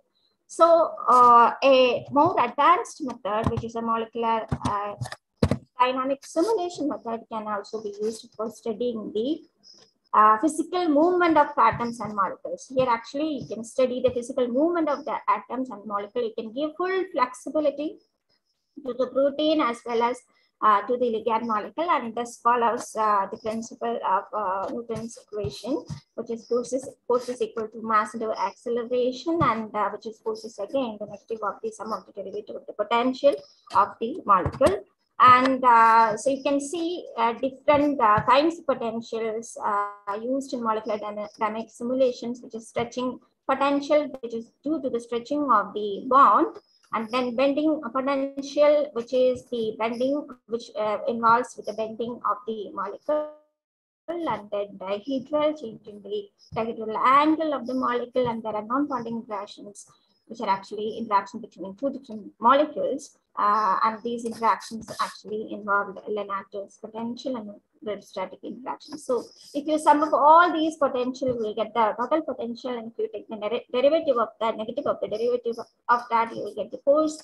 And uh, for the force, mass is a constant property. So you will get the acceleration. If you know the acceleration, you will get the velocity. From the velocity, you will uh, get the distance. So uh, with respect to time, the molecule move because it is undergoing vibrations. So the molecule will move and using the molecular dynamic simulations, you can know the positions at each time. So thereby you can actually study the physical moment of the atoms and molecules. So know the position of the molecule with respect to time. That is advantage. So you can study all the other properties based on that. That is molecular dynamic simulation. And there are some limitations of the uh, docking and molecular dynamic simulation because uh, uh, this often fail to cross the energy barrier between local and global energy minimum of reagent. Okay, so you can see the reaction coordinate. So reaction happens where reaction coordinate and this is the free energy of the uh, process and you can see a barrier and this is the local energy minima of the molecule. So the molecule starts from there, it has to cross the barrier and it has to reach the global energy minimum for the reaction to happen. So normally uh, this huge barrier, uh, so mostly we are dealing with the proteins and uh, proteins and uh, small molecules or the nucleic acids and small molecules. These are biological processes which actually happens in the time interval of milliseconds. So actually this molecular dynamic simulation and docking cannot uh, cross this barrier so that we won't get the reaction. So um, we have to look for something which is much better than uh, the docking and molecular dynamics simulation. And in this case, metadynamics is a promising tool, which is an accelerated uh, sampling technique, which, which will work in the framework of uh, molecular dynamics simulation. So metadynamics is an accelerated sampling technique where we can cross a barrier faster to study the biological process. So what is a molecular dynamic simulation? I'll explain this uh, respect to a small molecule, um, A and B are the atoms in the molecule. You can see the balls here, A and B. And then uh, you have to do the reaction so that the bond breaks. So the bond breaking is a process here. Okay. So since it has to break the bond, bond distance can be considered as a collective variable or the reaction coordinate in this particular process. Okay, so you have to break the bond. So you need a, a reaction coordinate. Reaction coordinate is nothing but the bond distance. Okay. So if you look at the free energy, you can see that the molecule AB is in the, well here, it has to cross a barrier and reach here so that the bond breaking is completed, you get two molecules. So, so you have to cross energy barrier and have to reach here. Okay, so the metadynamic simulations actually accelerates this uh, process, uh, this process of uh, bond breaking by uh, adding some extra potentials so that the reaction becomes faster. So we have to add extra potentials, it has to cross a barrier faster and it will reach here. So it actually works in the framework of molecular dynamic simulations. It is nothing different from molecular dynamic simulation. The only thing is that you're accelerating the process by adding extra potentials other than the force field or natural potentials, what I have discussed earlier. So that is what molecular dynamic simulation is. Just കണ്ടായിരുന്നു സംസാരിക്കാൻ ഒബ്സർവറിലാണ് ആദ്യം സംസാരിക്കാൻ പോയില്ല Hello, excuse me. Excuse me. Uh, yes, madam, you can proceed, madam. No problem. It's okay. So you can compare the normal molecular dynamic simulations uh, with that the metadynamic simulations, in this case, you can see that it has to cross a huge barrier. It will uh, take around 3,000 years if you use the molecular dynamic simulations. But if you, when you compare it with the metadynamics, you can see that it will cross a barrier by adding extra potential. These are the representations of the extra potential which is being added. It will close the barrier and it will reach the state B. So you can cross it in 300 nanosecond, uh, uh, the number of days, depending upon the total number of processors used. So this method is actually faster. And this method can be utilized for the drug design process because it, it is more reliable than the docking process because the docking actually gives you an empirical value, but that is not more accurate because you are uh, doing some assumptions. You are doing the calculations based on some assumptions. But in here, uh, you're actually uh, doing the process uh, um, by allowing all flexibility to the molecule, to the proteins as well as to the ligand molecules. That is advantage. And this is faster also. So uh, I would like to um, share some um, uh, some research works I, which I have uh, done recently based on this newer uh, techniques in drug design, which is a well-compared metadynamic study to identify RNA-dependent RNA polymerase allosteric inhibitors of SARS-CoV-2 based on drug repurposing strategy. So, so, as you all know, what is SARS-CoV-2 and what is COVID-9, I will go quickly go through the history. So uh, the disease uh, started in China in 2019 and later it was confirmed to be COVID, COVID-19 uh, by World Health Organization. And, uh, and on 2020 uh, March, uh, WHO declared COVID-19 as a global pandemic and the first wave of this disease happened uh, between March 2020 and June 2020. And the strain responsible for this was mainly alpha strain of uh, SARS-CoV-2. And uh, uh, next, uh, the first human trial of the coronavirus vaccine began in UK, led by an Oxford University team. And later on, uh, the first dose was given to a 90-year-old grandmother in UK. And the second wave started in March 2021 to August 2021, and the strain responsible for this was uh, mainly Delta strain. And uh, 20, uh, 21, India passed a milestone of administering 1 billion COVID-19 vaccinations. And uh, worldwide COVID-19 cases uh, uh, is like 435 million and then 5 lakh millions of death so far. And the third wave started from November 2021 to January 2022. And the main strain responsible for this was the Omicron. Okay, so even though uh, the vaccine has been developed uh, and has been given worldwide, uh, still the disease is there. So it is almost certain that uh, the SARS-CoV-2 will not be extinguished and will likely to remain as a human pathogen. Uh, so we have in need of uh, the proper vaccine development as well as drug treatment development. So, uh, uh, so as you, uh, I'm not talking about the vaccines, I'm more uh, concentrating on the design of new molecules uh, for the treatment of SARS-CoV-2. So before going to that, uh, you have to know what is SARS-CoV-2, what is the structure of SARS-CoV-2, what could be the possible target. And if you look at the picture, you can see that the COVID-19 contains a single-stranded, uh, this is a single-stranded uh, positive sense RNA associated with the nuclear protein. And there are capsid composed of matrix proteins, matrix proteins. And you can see several uh, targets are involved uh, uh, in case of SARS-CoV-2. You can see the spike-like protein, nucleocapsid protein, membrane-like protein, etc., etc. So uh, I have chosen uh, the RNA-dependent RNA polymerase as a key target because it is the enzyme which is responsible for the synthesis of RNA in virus. And if you can stop the RNA synthesis, you can stop the replication and transcription translation processes, thereby you can actually kill the virus. So the target of choice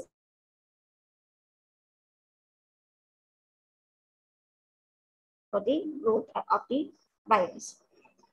So um, you can look at the structure of the RNA-dependent RNA polymerase SARS-CoV-2. This is a structure, this is a graphic structure, and uh, you can see the region from where the RNA actually get synthesized, this region is known as catalytic region. And you have the thumb, uh, palm, and finger regions. These are the three different regions of the SARS-CoV-2. And it has got uh, five binding sites, which is a catalytic site, which I have shown you. And then it, it has got allosteric sites, thumb 1, thumb 2, palm 1, and palm 2. Uh, palm 2. So uh, this allosteric site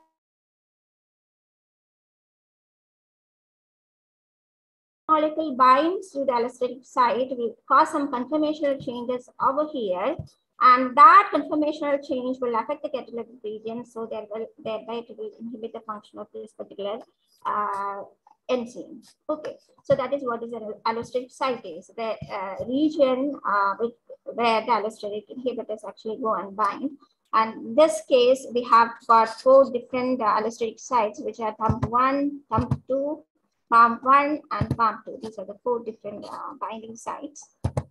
Now look at the drug design strategy. Which strategy will you follow for uh, the designing of the new molecules against SARS or the RP? Uh, so you can uh, go with the two different processes like develop a new drug molecule and has to go through all those phases and processes which I have explained earlier so it is a time consuming process, laborious and highly ex expensive and uh, has got high risk also. So the other uh, strategy is a drug repurposing strategy, which is very uh, fast and requires less time because we will start with the approved drug here. So the drug which has been used for treating some other disease can be selected, it can be validated and developed uh, for uh, treating uh, some other disease. That is what is drug repurposing strategy. So, so we cho chose to go with the drug uh, repurposing strategy because uh, it uh, takes less time. Okay. So here we have to start from the approved drug for the treatment of some other disease, which can be used as a um, as a initial candidates for the development of new molecules for treating the uh, particular disease. That is what is drug repurposing strategy is. So what are the criteria for selecting the candidates for drug repurposing strategy? In case of uh, SARS-CoV-2, you have to consider three things. First one is you have to select a positive sense RNA virus because this is a positive sense RNA virus. So the, the, the drugs uh, uh, which should be active against positive sense RNA virus should be selected. And then when you select the target, there should be similarity between the RNA-dependent RNA polymerase of SARS-CoV-2 and that of the selected virus. So there should be sufficient similarity between the RDRP of the SARS-CoV-2 and the selected virus. And then uh, if you um, select a particular target, there should be sufficient number of drugs approved by FDA uh, for the study. So based on these uh, three things, we have chosen RDRP sense RNA virus, it's a good, there is a good sequence similarity between the RDRP of HCV and SARS-CoV-2. And it is only positive sense RNA virus for which there are a number of drugs available uh, in the market, which is most, most of them are under clinical trials.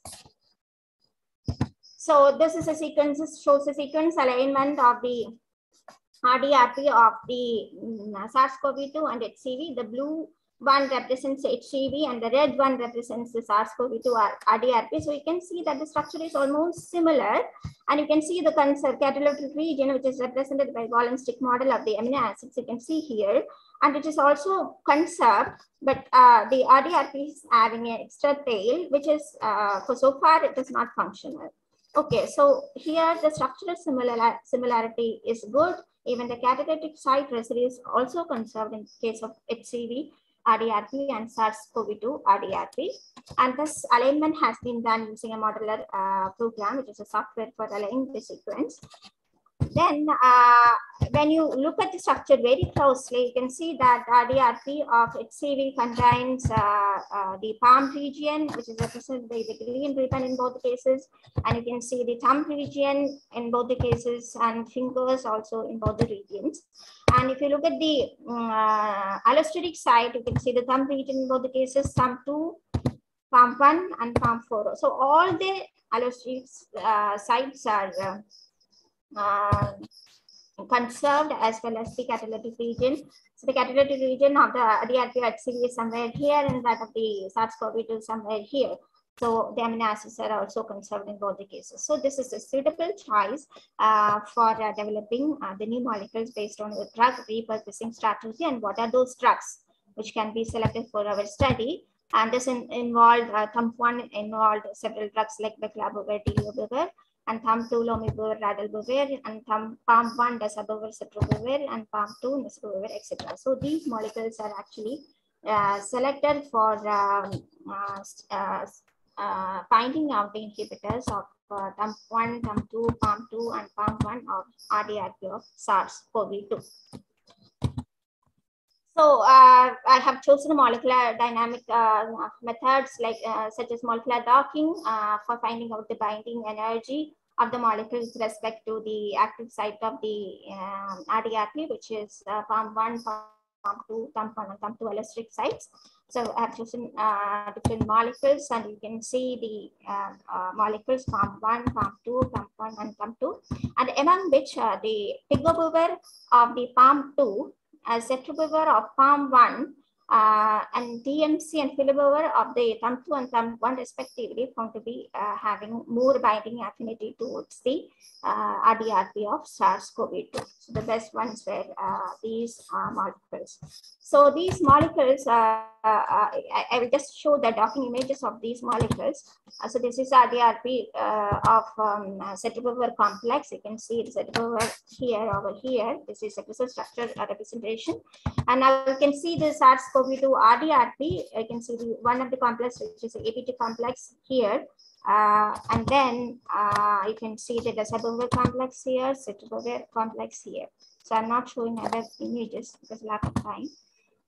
And all the doctor structures are further taken forward well-tempered metadynamic simulations. And as you all know, the docking has some limitations because it cannot close a very easily and also uh, we are not giving full flexibility to the molecule. To solve this problem, we actually use uh, well-tempered simulation so this works in the framework of molecular dynamic simulation where we can uh, do the reaction very faster as well as we are giving full flexibility to the molecules. So the results will be more uh, reliable as compared to the docking process. So this is the full 1D free energy surface obtained after metadynamic simulations against, uh, this is free energy against the distance. And uh, so here in case of, as I said earlier, in case of metadynamics, we can choose any reaction coordinate. I have told you the example.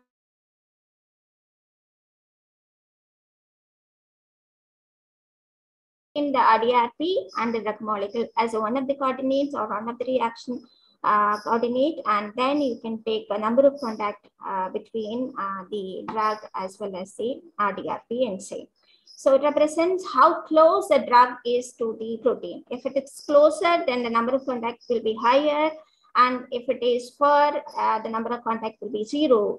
And if the distance is uh, very small, it indicates that there is binding. That means that the RP and the uh, drug molecule is very closer and the value is very high, it represents that it is actually far away. So you can study the binding process in detail. And uh, uh, as per the studies, we have found that Zetrobovir is having the free energy value of minus 16 kilocalorie per mole, which is going to be more, forming more stable complex uh, with the RDRP. And uh, you can look at the two-dimensional free energy surface obtained after metadynamics. Uh, this is a number of contact. Um, or one of the coordinate is a number of contact. That means how many contact uh, the drug will form with the uh, RDRP enzyme. That is a number of contact. And if it is small, then represents there is no contact. If it is high, it represents there is contact. Okay, now we can see the distance x also. So the uh, smaller x represents 1, 1.5 to 2.5 represents drug is very close to the active site of the uh, enzyme. And if it is far, uh, if it is like 10 or uh, 15 represents, you can see here there is no, no contour diagram. So this is actually a contour diagram of the free energy surface uh, obtained after metadynamics. And these terms actually, I cannot cover all these things here because uh, there is limited time and it is beyond scope. Uh, so you can, if you have any doubt, you can uh, email me personally so I can explain more. on the techniques how to use this metadynamics for studying uh, different drug design processes. Okay, so the you can see that uh, in this case, the drug is very closer, and this case, drug is a little bit far away. So it is represented by the large number of contacts and shorter distances. And here also you can see that the large distances and uh, sorry, uh, large number of contacts and the small distances. So, uh, so actually, this uh, free energy diagram itself uh, gives a confirmation of the molecule also. Not only will get the free energy of binding, and it will also tell where the molecule is actually. Is it in the active site of the protein, or it is far away from the protein, or, or it is even far away from the protein? That is, it is not there in the neighborhood of the protein. Okay, so, so, studies are still going on uh, to find out uh, how it actually um, interacts with the uh, enzyme and how it uh, changes uh, the conformation of the catalytic site because all these inhibitors, whatever we have taken is allosteric inhibitors, which won't bind to the catalytic site of the RDRP. So we have to still find out uh, what is the mechanism, how uh, the allosteric inhibitors uh, changes the conformation of uh, catalytic site so that enzyme become inhibited. So it can be used in the treatment of SARS-CoV-2. So as I move on to the conclusion, computer modeling techniques uh, contributes a major role in drug design optimization of new drug candidates. Apart from the conventional methods such as docking and MDS, newer methods such as metadynamic sample sampling techniques, QMMM, uh, etc. That is quantitative molecular, uh, quantum mechanical molecular mechanics methods can be effectively utilized for the same purpose. And uh, for the study, we have chosen 12 different allosteric inhibitors and uh, that is studied using molecular docking and Weltenberg metadynamic simulations. And the molecular docking studies shows that Tigover, Citigover are good inhibitors of PAM2 and PAM1 sites respectively. And the Weltenberg metadynamic studies revealed that Citigover, ABT, and Escobar are promising allosteric inhibitors. So detailed analysis need to be done to understand uh, how the drug actually modifies the catalytic site so that the enzyme will get inhibited. So this is uh, undergoing. And I would like to acknowledge the organizers of National Science Day 2022 IPA Kerala State Branch Education Forum and call workers, Dr. Pramod P.S., Dr. Raymond Kumar Singh, Dr. Subramanian Sapati, Dr. Sujay William.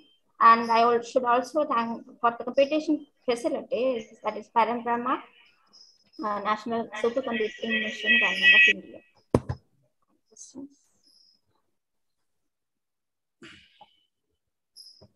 Thank you. Uh, okay. Thank you. Thank you, madam. Thank you very much. You are a very, uh, because drug design process is one of the very vast area. This vast area, you are limited in a very short period of time and explained in a very simple language, especially the various stages of drug design and uh, various uh, drug designs uh, and the role of role of medic medicinal chemist using artificial intelligence like uh, structural based drug design and uh, ligand based drug design and molecular modeling and and advancement of computational methods especially with the molecular dynamic simulation and energy calculation with uh, quantum mechanics and uh, quantum uh, molecular mechanics. And also she explained research works especially with the covid research and it was really it is enriching and brainstorming session. And it will be must it might be helpful for our young minds to their dream to come true. Thank you madam. Thank you very much. On behalf of uh, ipa kerala state branch our president and vice president and other officials i once again we are we are expressing our sincere thanks and gratitude to you madam being with us. And I am requesting the Limsi madam to present the uh, certificate of token of uh, appreciation. Thank you. Thank you, madam. Thank you very much being with us. Thank you very much, madam. Thank you, sir. Thank you, sir. Thank you, sir. Thank you, madam, for a good speech. Now, it is my pleasure to invite Dr. Bobby Jones D, Professor of Pharmaceutics, St. Joseph College of Pharmacy, Cherthala, to introduce Mrs. Srija C. Nair for her experience regarding the recent trends in the delivery system. Over to you, sir. Uh, thank you, Limsi madam. Uh, I think I'm audible, right? Yes, sir, you're audible. Thank you. Good morning, all, uh, all the respected uh, participants, respected dignitaries, senior professors, and my dear students. I'm very happy to introduce uh, the second speaker of today's session, uh, Mrs. Sri, Srija C. Nair. Uh, actually, she's uh, my friend only, so I'm very happy to introduce her. Ms. Srija C. Nair is working as assistant professor, Amrita School of Pharmacy. She completed her bachelor's degree in pharmacy from the MGR Medical University and her master's degree in pharmaceutics from Amrita School of Pharmacy, Amrita Vishwa Vidyapeetham, Kochi. She submitted her PhD thesis in Faculty of Medicine, Amrita Vishwa Vidyapeetham, in uh, earlier in this month itself. Her doctoral dissertation was titled Delivery of phenytoin sodium directly to the brain using nanolipid carriers as a treatment for acute epileptic seizure. She worked as lecturer in Lisi College of Pharmacy from 2007 to 2010. She is also an experienced industrial professional with various uh, with experience in various pharmaceutical industries. She has more than 12 years of teaching and almost 10 years of research experience and has more than 65 international publications to her credit. She is the recipient of Amrita Innovation and Research Award, EIRA 2021. That's a publication merit award. Ms. Srija's current research focuses on nano-carrier-based brain drug delivery, nose-to-brain delivery of nanotherapeutics, novel formulation approaches to reinvent drugs of potential therapeutic benefit, etc. Since the time is uh, very short, I'm uh, not extending. With these few words, I cordially invite Ms. Srija C. Nair for the talk on recent trends in intranasal drug delivery system. Over to you, Srija. Okay, good afternoon to all. Just a moment. Good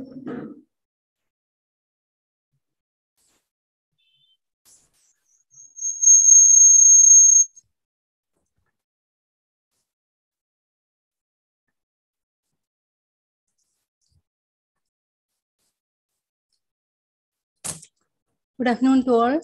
Limsi madam, can you able to see my slide? Yes, yes, ma'am. You can continue. Is it changing? No, it's not changing. Please change the slide. I have changed it. Please go. Please go for the slide slideshow. Yes. Hope it is visible to you now. Yes, yes, it's Yes, visible. yes. Now it's okay.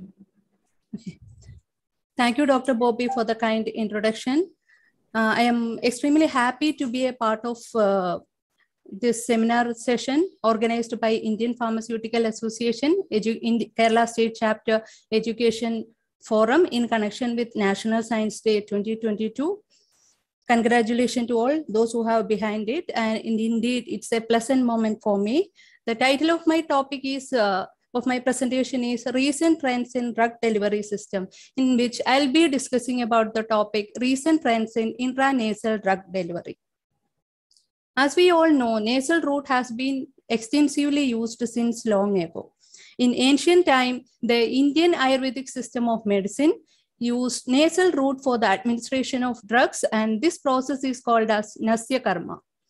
And it has been widely used for treating a variety of ailments, including CNS disorders. So in the last 10 years, the interest in the intranasal drug delivery in pharmaceutical R&D has been increased. And here comes the factors affecting the nasal drug absorption, which include the physiochemical properties of the drug, as well as its formulation, as well as the physiological factors of the nasal mucosa. And there are various strategies to enhance nasal drug absorption. Few I have mentioned in which I'll be focusing on novel drug delivery system, mainly targeted nano drug delivery system.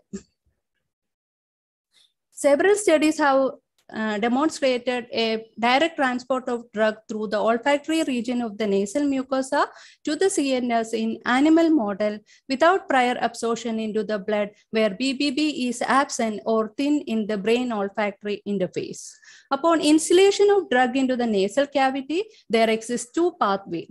One through the trigeminal pathway that is in the anterior portion of the nasal cavity.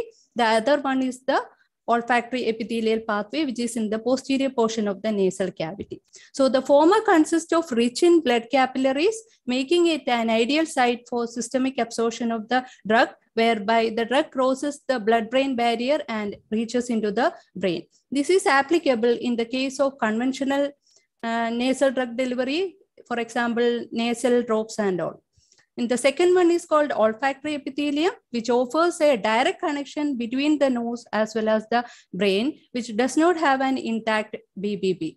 And this is particle size as well as lipophilicity mediated drug transport, which could be accomplished only by means of a targeted nano drug delivery system. So I'll be focusing on this area now.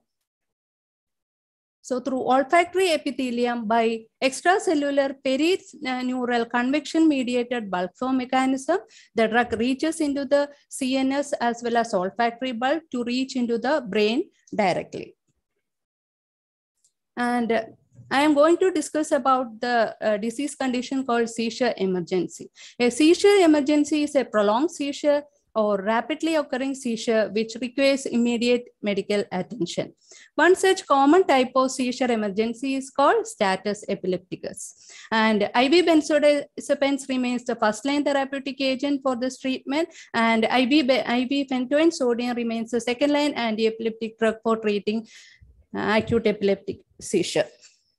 Formulating drug into particulate nanocarriers, especially nanolipid carriers with smallest particle size and lipophilicity, enables targeted drug deposition into the CSF as well as brain, so as to get a targeted mechanism of action. So NLC is a second generation SLN in which the lipid matrix consists of a specially blended mixture of solid lipid and liquid lipid. And it has a highly imperfect structure which create more space for the drug to remain inside the solid lipid matrix, which result in high entrapment efficiency, high drug loading efficiency, and uh, no expulsion of drug from the system during storage. So with this in intention, I have formulated phenytoin sodium NLCs by melt emulsification followed by ultrasonication method using oleic acid as liquid lipid, cholesterol as solid lipid, and polaxamer as the surfactant. So I have prepared three different sized phenytoin sodium NLC that is below 50 nanometer size, between 50 to 100 nanometer and above 100 nanometer phenytoin sodium NLC in order to study the effect of particle size on nose to brain olfactory delivery and was further characterized. And the TEM analysis, like you can see the TEM analysis data, they have shown that all the developed, all the three developed NLCs uh, particle size has, are in the desired a nano range which is suitable for intranasal application. Further, we have done the um, characterization study. The particle size and zeta potential of the developed NLCs were uh, done by dynamic light scattering method. And among three different sized NLCs, the smaller size that is below 50 nanometer phenytoin sodium NLC showed a smaller particle size of 32.59 nanometer uh, with greatest or higher entrapment efficiency and drug loading. And after that, I have done the, in, the main in vitro studies, ex vivo permeation studies, then in, in vitro cell line studies using L929 cell and human brain capillary endothelial cell, then in vivo anticonvulsant activity study as well as in vivo acute toxicity study also. So uh, due to time constraint, I'm not showing all these data and I'm focusing on one important study that is in vivo pharmacokinetic and biodistribution study, which was done in 200 Wistar rats. So the study consists of total 200 rats were divided into uh, seven groups, consist of total 200 rats and based on the euthanasia time point, they are divided into five groups. So after treatment with formulation group based on the euthanasia, the animals were euthanized and CSF was collected by cisterna magna puncture method and blood by cardiac puncture method. Further, the organs were taken for biodistribution studies also. So this is the in vivo pharmacokinetics uh, data done in CSF. So the result of the in vivo pharmacokinetics study in CSF revealed a higher drug concentration for below 50 nanometer NLC formulation when compared to IV phenytoin sodium as well as intranasal control drug solution, indicating the drug's availability in the CNS within short duration of time. Is the in vivo pharmacokinetic study in plasma revealed that there is um, lower drug concentration of lower drug concentration for the below 50 nanometer NLCs when compared to IV phentoin sodium as well as intranasal control drug solution, indicating that there is minimal absorption of drug into the systemic circulation via intranasal olfactory route and further confirm that nose to brain uh, direct delivery is not through systemic pathway but through a local pathway. So next is the brain biodistribution study. So this study is very important as the, as the brain is the target site of action. So the in vivo brain biodistribution studies revealed a higher drug concentration of drug for the below 50 nanometer NLCs as well as its spray formulation compared to the IV phentoin sodium as well as control drug solution, indicating direct nose to brain drug transport through olfactory epithelium, which is particle size as well as lipophilicity mediated transport. So the major observation from the in vivo biodistribution studies done in 200 Wistar rats revealed that the below 50 nanometer phentoin sodium NLC formulation of 4 mg per kg dose achieved higher drug concentration in brain within five minutes of uh, intranasal administration and the obtained brain drug concentration is almost 50 times greater than the marketed IV formulation as well as the control drug solution. Next is the in vivo, uh, in vivo nasal toxicity study was done to reveal the local toxicity of the developed formulation in comparison with the control mucosa. So the result of the study revealed that there is no histopathological changes noticed on the microscopic structure of olfactory mucosa as well as olfactory bulb upon formulation administration, indicating that the developed NLC formulation is safer for intranasal administration. So this is the schematic representation showing direct nose to brain delivery of pentoin below 50 nanometer pentoin sodium NLC through olfactory epithelium. So we hope that the research work will open a new window to deliver the anti-epileptic drug directly to the brain so as to minimize dose-related side effect adverse effect and dosing frequency for better control of epileptic seizure and also to provide a unique feature for enhanced brain delivery that could retain its name as the most prescribed drug in acute epileptic seizure. So we have published uh, the research work in, mm, in Pharmaceutics Journal of Impact Factor 6.32. I would, I would like to acknowledge Amrita Vishwavidyabhedam for providing all the facilities and infrastructure. Thanks to DST Nano Mission for funding this project. And my sincere thanks goes to Dr. Shanti Kumar Vinaya, Dean Research, Amrita Center for Nanoscience, whose valuable suggestion during the DRC meeting helped us a lot to complete this project. So coming to the recent advances in intranasal drug delivery. So in 2021, and this is, this is the paper published in 2021 indicating the details of the number of annual publication and annual citation uh, in intranasal drug delivery area from the year 1998 to 2020. So you can see there is a drastic increase in the number of uh, publication, annual publication and, cite, and citation till 2020. And uh, coming to the other advancement, like a lot of uh, researchers are working in this area to study the opportunistic and toxicological challenges during intranasal drug delivery, that is through intracellular approach, paracellular and transcellular mechanism. Uh, you can deliver the drug directly to the brain. And this bar diagram gives the current status of approved drugs for nasal application. This is the clinical trial paper published at clinicaltrial.gov uh, based on the uh, age of the patients. And these papers explain that in addition to therapeutics, you can deliver biologics like insulin, DNA, and mRNA vaccine to the nasal, nasal and pulmonary mucosa for treating various disease. As you all know, chitosan is a widely acceptable biocompatible and biodegradable polymer that has lot of uh, lot of application in drug delivery. And these papers explain the uh, various examples of chitosan loaded chitosan drug loaded nanoparticles developed for intranasal administration and liposomal formulation for treating CNS disorders. And here comes the intranasal SARS-CoV-2 vaccines. These are under these studies are under clinical trial, and few papers explain the nasal prevention of SARS-CoV-2 infection by intranasal influenza-based boost vaccination in mouse model, and they got promising results. So from these results, it is inferred that intranasal route is a, it seems to be a promising route for the delivery of drugs as well as biological for tre treating various diseases, including CNS disorders. They can overcome the problems of conventional route drug formulation that includes avoidance of first pass metabolism, non-invasive approach, and uh, faster onset of action, and limited systemic or peripheral side effects with more precise targeted action. And a lot of uh, research studies are going on this uh, these areas that is in related to intranasal drug delivery. Few are in clinical trials and some are in pipeline.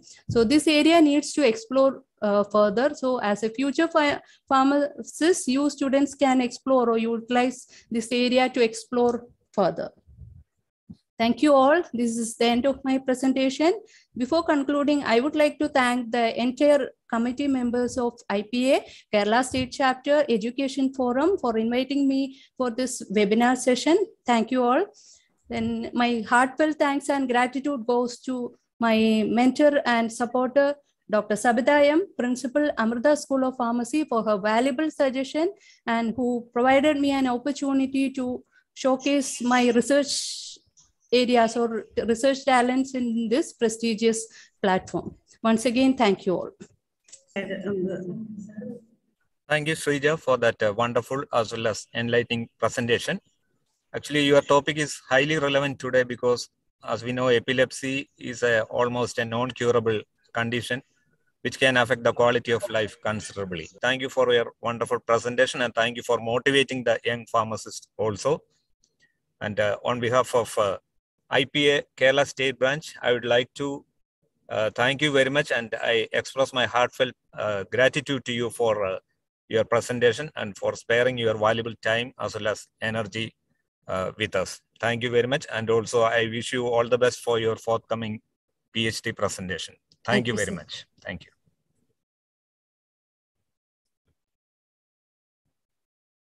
We'd like to present a digital certificate on behalf of IPA.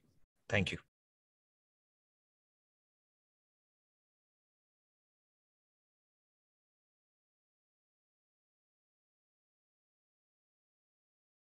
Dr. Lims. Thank you. Thank you, sir. Today, we have with us Dr. Kaladi, Professor and HOD of College of Pharmacy Sciences, Government Medical College, Alappuzha. I invite you, ma'am, to grace occasion by your words respected dignitaries, colleagues, dear students. A warm good morning to one and all. Am I audible? Am I audible? Yes, yes, madam, you're audible. Okay, okay. IP Education Forum Kerala State Branch organizes different program for the budding pharma aspirants. Primary objective of today's program is to ignite an interest in science, inspire especially students to perform new experiments and make them aware of the latest development in science and technology. Science is that tool that has given us the power to change the world. The occasion of National Science Day reminds us all the ways science has contributed towards our life. Let us all travel together by providing hope and inspiration to future generations to pursue their goal. Wishing a very happy National Science Day to all. Thank you. Thank you, ma'am, for, for your loving words. Now, I am delighted to invite Dr. Muhammad Hanifa, Principal, Maulana College of Pharmacy, Peridalmanna, for delivering a few words to facilitate the function.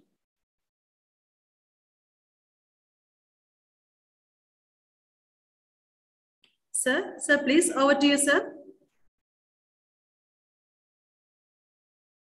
Hanifa, sir.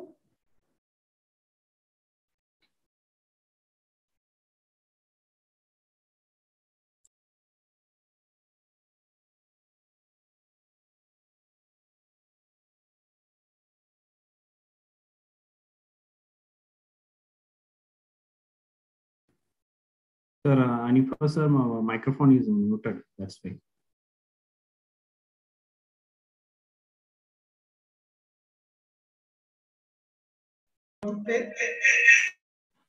Hello, am I audible? Yes, sir. Yes, sir. Yes, sir, you're audible. Hello. Hello, am I audible? Yes, sir. Audible, Okay. Uh,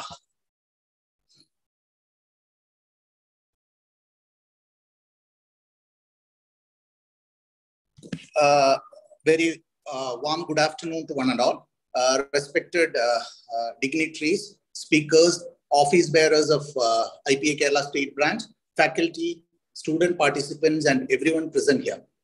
Uh, at the outset, let me thank IPA Kerala State Branch for giving me an opportunity to be a part of this program.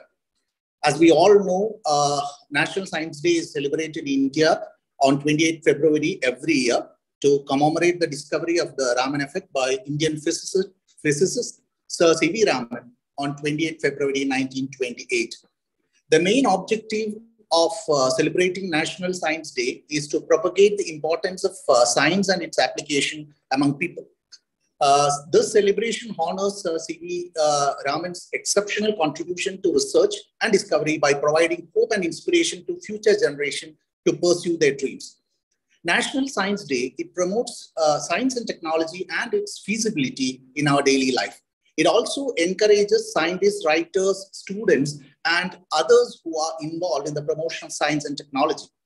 I must appreciate the efforts of IPA Kerala State Branch under the active leadership of Dr. Jayashekhar, Dr. John Joseph, and Dr. Krishnakumar, and all other office bearers of IPA to inculcate the research culture among students. Every scientist dreams of doing something that can help the world. A good scientist is a person with original ideas. On this great occasion, I wish and pray that all our students can come up in life with a good scientific temper. Hope this day will help to enhance their scientific zeal. Once again, I thank IPA for giving me, this opportunity, and I expect IPA will definitely continue to organize more such programs in future to educate, motivate, and inspire our students. Thank you all. Have a nice day. Thank you, sir, for inspirational words. All the participants are requested to fill the feedback form, which is posted in the chat box. Now, we are coming to the end of the program. Let's invite Dr. David Paul, Joint Secretary, IPA Kerala Branch, and Associate Professor, Department of Pharmaceutical Analysis, St. James College of Pharmacy Sciences, Chalakudi, to propose a vote of thanks. Madam, is it audible? Yes, sir, you're audible. Respected dignitaries, members of Indian Pharmaceutical Association, chairs, conveners of each forum of Indian Pharmaceutical Association, Kerala State Branch, principals of various pharmacy colleges, members of IPGA, KPGA, faculty members, and my dear, dear students, and all those who are gathered here online for today's National Science Day celebration 2022. A warm good afternoon to one and all. It's my privilege to propose a vote of thanks on this auspicious occasion. First of all, I'd like to extend my sincere thanks to God Almighty. I'd like to extend our deepest gratitude to our honorable chief guest of today's function, Professor Shantikumar Nair sir, uh, Dean Amrita Center of Nanoscience and Molecular Medicine, Amrita Vishwavidyapeetham, who accepted our invitation for inaugurating this event and spared time from his busy schedule to grace this occasion with this keynote address. Thank you for inspiring and encouraging us with your words on this special day. Thank you, sir. I would like to extend my heartfelt thanks to our president, Dr. P. Jayashekhar, sir, who is a source of guiding light and motivation for us in successfully organizing and delivering today and for delivering today's presidential address. Thank you, Jayashekhar, sir. I must uh, mention our deep sense of appreciation for our uh, secretary, Dr. John Joseph, sir, uh, for his guidance, support, and thank you, John Joseph, sir. I must remark a provision sense of gratefulness to dynamic Dr. K. Krishnamasa, Chair of Educational Division, and Principal of St. James College of Pharmaceutical Sciences, Chalakudi, for his Science Day message, guidance, and moral support. Thank you, sir. We are profoundly thankful to Dr. Wilby Diaz, Assistant Professor, College of Pharmaceutical Sciences, Government Medical College, Trivandrum, and Ms. Sreja C. Nair, Assistant Professor of Amrita School of Pharmacy, uh, both resource person for today's scientific session. And they delivered their area of expertise today in a clear-cut way, which is which can which is motivational to our new young generation. Thank you, Dr. Vilbi Madam and Dr. Sri, uh, Ms. Nair Madam. On behalf of IPA Kerala State Branch, I extend my gratitude to Dr. Sabitha M. Principal, Amrita University, uh, and uh, Amrita Vishwavidyapeetham, Kochi, Dr. Arun Rashid Sir, Professor of Pharmaceutical Chemistry, Al Shifa College of Pharmacy, Malappuram, Dr. Bobby John Sir, uh, Professor of Pharmaceutics, St. Joseph College of Pharmacy, Cherthala, for introducing today's speaker, speakers and moderating today's scientific function. Thank you, Dr. Sabitha Madam, Dr. Arun Rashid Sir, and Dr. Bobby Sir.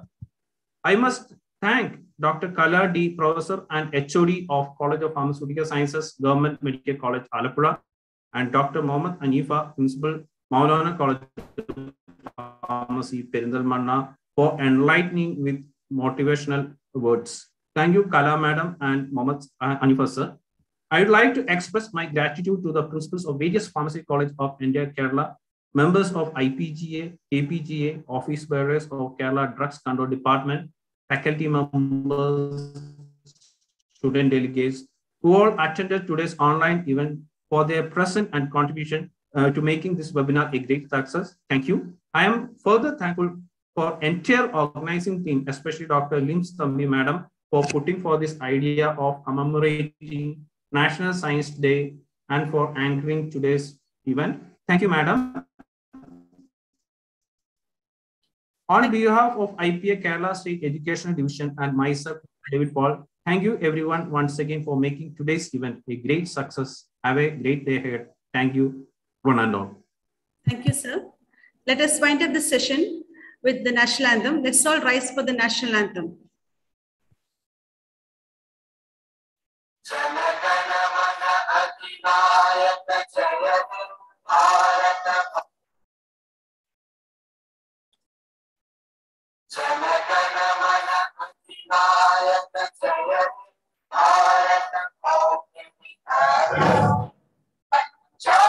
Singh